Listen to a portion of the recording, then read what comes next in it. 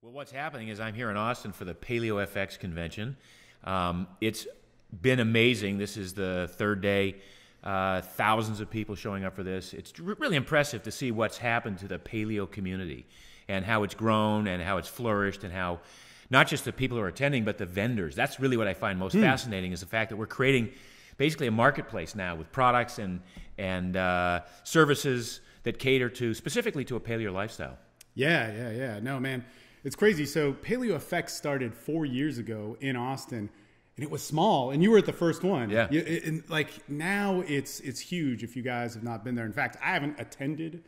I actually have a press pass, but I didn't. get gotta to use it I was here Yeah. interviewing people, but but no, man, and it's just nuts because it's this huge cultural phenomenon. But you actually started like this movement massively. You know, with uh, actually the primal blueprint, which we see right here. How have you seen paleo change and evolve over the years? Uh, yeah, it has evolved. Um, you know, it started really well before I got into this uh, through the likes of uh, some of the people doing work in um, in the '80s. Um, uh, Mel Konner, Boyd Eaton wrote some of the first books, uh, really looking at the Paleolithic diet.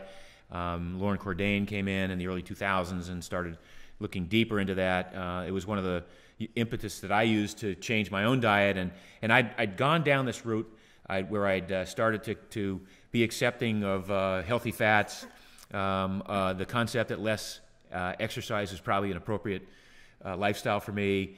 Um, I looked at a lot of these different hunter gatherer experiences, and the last thing to fall into place for me was the elimination of grains. And I got a lot of that from, from the guys I just mentioned. So I started writing about this in 2006, and um, that's when I started my blog.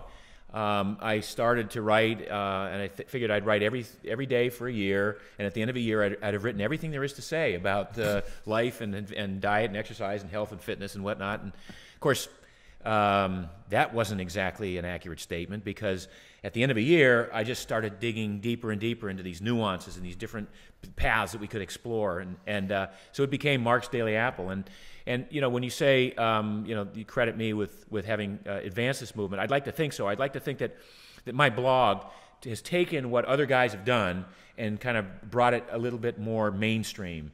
Um, I, I, I pride myself on the way I write and the ability to take complex scientific um, ideas and, and translate them into a way that appeals to the mainstream reader who wants to just like get the nuggets. Give me the information. Just tell me what I got to do.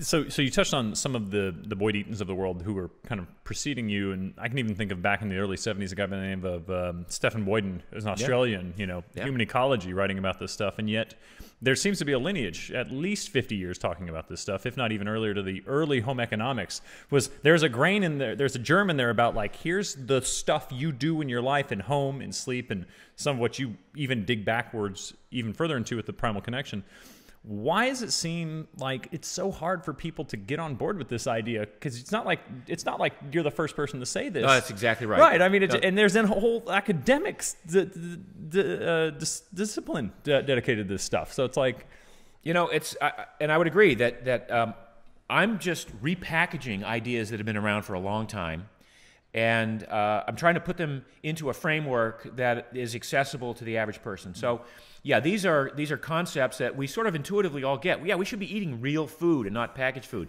We should probably be getting, you know, enough sleep. We should probably be going to sleep a little earlier and not waking up to an alarm clock. We probably should be getting more sun and playing out in nature and and, and, and digging around in the dirt. But you know, we the fighting that whole movement is this uh, science and technology and advancement in you know interactive digital technology and all these things that are sort of taking our minds that are hardwired to be hunter gatherers, taking them in a direction of short attention span.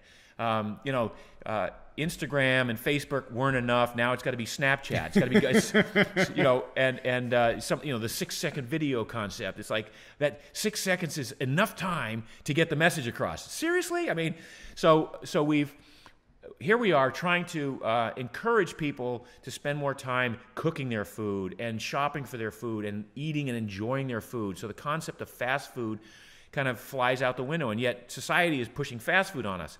Here we are trying to encourage people to spend time face to face. I'm hanging out with you guys. This is awesome. We're looking at each other. We're not doing a Skype chat, you know. Right.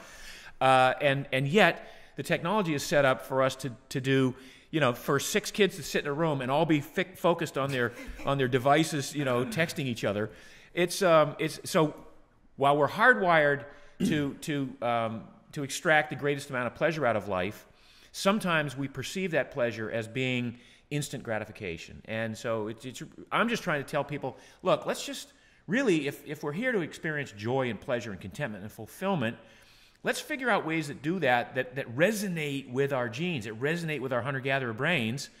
Uh, and that don't rely on digital technology, but but you know cause us to have to go back to face-to-face communication, real food, getting sleep instead of figuring out hacks so that we don't have to sleep. You know what I mean? Yeah.